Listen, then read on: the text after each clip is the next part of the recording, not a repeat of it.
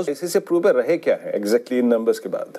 देखिए पूरे insurance space में, पहले एच लाइफ को लेकर ब्रोकरेज हाउसेस की अच्छी रिपोर्ट्स थी, फिर एस लाइफ को लेकर अच्छी रिपोर्ट्स थी, और अब आईसीआईसी प्रोडेंशियल को लेकर भी ब्रोकर्स का ये मानना है कि एक अच्छे सेट ऑफ़ नंबर्स कंपनी ने पेश किए हैं, और जो ट्रेंड है, वो शायद आगे भी कंटिन्यू रहे। एक एक करके पूरी सूची आ जाएगी उन ब्रोकरेज हाउसेस की, जहाँ पर अभी टारगेट्स पॉजिटिव साइड पर है, उनकी रेटिंग्स है बाय साइड पर। करीब पाँच रुपए के टारगेट जेफरीज की तरफ़ से जेपी मॉर्गन करीब पाँच का टारगेट मॉर्गन स्टैनली पाँच का टारगेट तो मोर और लेस आपको टारगेट्स में बहुत ज़्यादा वेरिएशन दिखाई पड़ेगा। साढ़े पाँच सौ पाँच सौ रुपए की रेंज में टारगेट्स आ रहे हैं और सबकी जो कंसेंसस है, वो बाय साइड पर है आउट परफॉर्म साइड पर है या ओवरवेट साइड पर है। सीएलएसए भी इनफैक्ट पाँच सौ पैंतीस का टारगेट रख रहा है और out performance rating Credit Suisse की है पाँच सौ, दस रुपए के टारगेट से तो मेजरली सबके टारगेट्स एक ही रेंज के अंदर आ रहे हैं।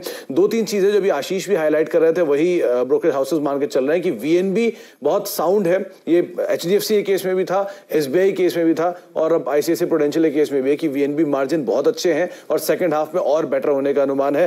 प्रोडक्ट मिक्स इन तीनों कंपनी से काफ़ी साउंड है और यहाँ पर भी प्रोडक्ट मिक्स ने ही इनके नंबर्स को और बेटर किया है। और FY twenty one twenty three के लिए मेजरली सबने ये एस्टिमेट किया है कि करीब सत्रह से लेकर उन्नीस परसेंट की रेंज में कहीं वीएनबी मार्जिन आ सकते हैं। तो ये एक क्रूशल आंकड़ा रहेगा। और साथ ही साथ इस केस में पर्टिकुलरली ब्रोकर्स ये मान रहे हैं कि हालिया जो ये रेंज में रहा या करेक्शन आया है, इसके बाद की वैल्यू एक्रेटिव हो गई है। एंट्री पॉइंट काफ़ी साउंड है। इसीलिए उनके टारगेट जो है अभी पाँच सौ पैंतीस, पाँच सौ चालीस या पाँच सौ साठ की रेंज में आ रहे हैं। शेयर का मौजूदा स्तर करीब चार सौ बारह रुपए।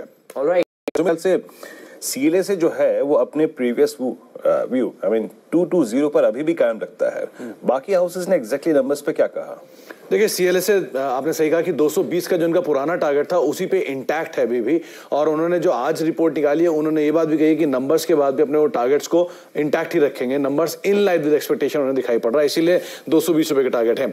ईडल वाइज वन की और सिटी वन की, ये तीन बुल साइड पर यानी कि तेज़ी की साइड पर टारगेट्स हैं। अगर आप इसी की दूसरी साइड पे अगर जाएँगे तो कुछ ब्रोकर हाउसेज टारगेट्स ये भी हैं कि जिनको लगता है सौ रुपए तक भी टाटा मोटर्स आ सकता है, एक सौ आठ रुपए के लिए गोल्डमैन सैक्स सेल है और एक अंडर वेट रेटिंग है जेपी मॉर्गन की एक सौ पच्चीस रुपए के टारगेट्स उनकी तरफ़ से आ रहे हैं। तो कुछ ब्रोकर्स बुलिश है, कुछ ब्रोकर्स बियरिश है टाटा मोटर्स को लेकर। लेकिन मोर और लेस सबकी कमेंट्री जो है वो काफ़ी पॉजिटिव साइड पर है। सबको ये जो भी आशीष कह भी रहे थे कि नंबर्स बेटर हैं और लॉन्ग टर्म डेट फ्री होने का जो कंपनी का प्लान है, उस पर मैनेजमेंट अभी भी इंटैक्ट है।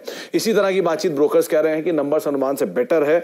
जेएलआर और इनका जो इंडियन बिज़नेस है, वहाँ से अच्छे आंकड़े आए हैं। कैश फ्लो पॉजिटिव जो कि रीसेंट कमेंट्री मैनेजमेंट ने बोल भी दिया था कि कैश फ्लो पॉजिटिव वो अब होते हुए दिखाई पड़ रहे हैं।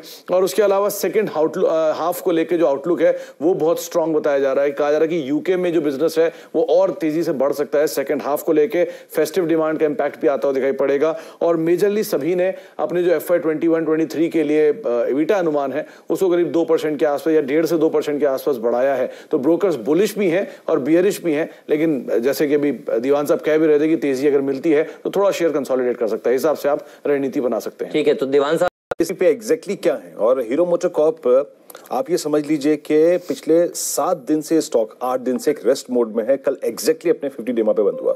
कैसे अप्रोच कर रहे हैं वो इस जेवी को? देखिए वीरेंद्र अभी इस डील के ऊपर तो कोई रिपोर्ट्स नहीं है, लेकिन हाँ एक रिपोर्ट सीएलएसए की ज़रूर है हीरो मोटोकॉप को लेकर, क्योंकि अर्निंग्स भी है तो अभी इसलिए ब्रोकरेज हाउसेस काफ़ी स्केप्टिकल हैं अपने नए टारगेट्स के लिए।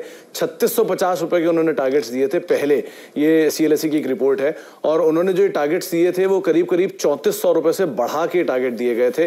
ये बात उन्होंने साफ़ की थी, इसके अर्निंग्स भी काफ़ी स्ट्रांग है, और जो अभी आशीष बात भी कर रहे थे हाल डिविजन में, एक बहुत स्ट्रांग डीलरशिप नेटवर्क है, दो 2010 से भारत में हार्ले डिविजन ऑलरेडी कामकाज कर रही थी और उसके बाद ये बाहर हुई। और अब हीरो मोटोकॉप की एक स्ट्रॉन्ग रूरल नेटवर्क और बाकी tier two tier three network का फ़ायदा उठाकर ये फर्दर एक्सपेंशन का भी अनुमान लगाया जा रहा है। ये रिपोर्ट जो है, ये छत्तीस की है, लेकिन नई रिपोर्ट जो है, वो अभी आई नहीं है इस पूरी डील के बाद। लेकिन ये डील बहुत